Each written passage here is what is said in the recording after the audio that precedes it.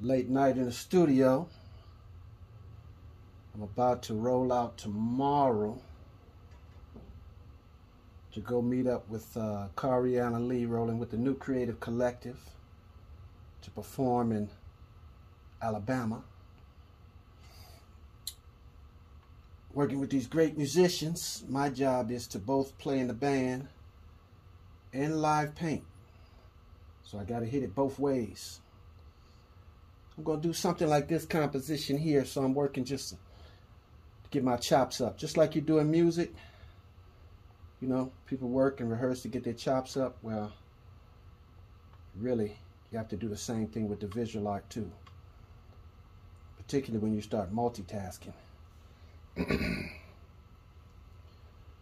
so Khari wanted like the theme of the music is kind of like birds and elevation, taking that divine sound up higher. So this is what we're gonna we're gonna hit something like this.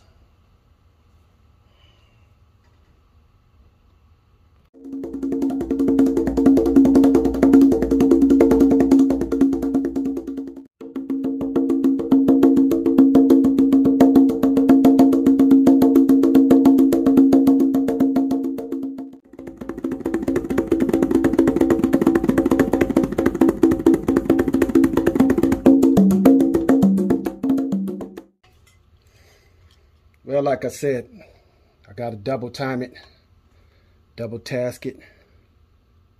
I got to get my chops up on both levels.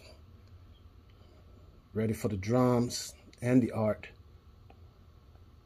Ha, at least I don't have to sing on this gig. then I'd be busier. I'd be busier than a one-legged man in a butt-kicking contest. Bless up to y'all at Kuale in the darkness of the night.